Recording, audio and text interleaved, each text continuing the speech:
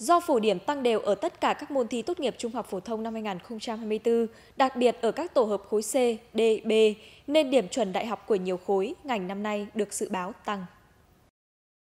Đại diện một số trường đại học nhận định điểm trung bình của 6 trong số 9 môn thi tốt nghiệp trung học phổ thông năm nay tăng từ 0,06 đến 1,04 điểm. Do đó, dự báo điểm đầu vào năm nay sẽ cao hơn năm trước ở tất cả các tổ hợp và có thể tranh từ 1 đến 3 điểm. Những ngành hot có điểm đầu vào cao, nếu chỉ tiêu như năm trước, mức cạnh tranh sẽ lớn hơn.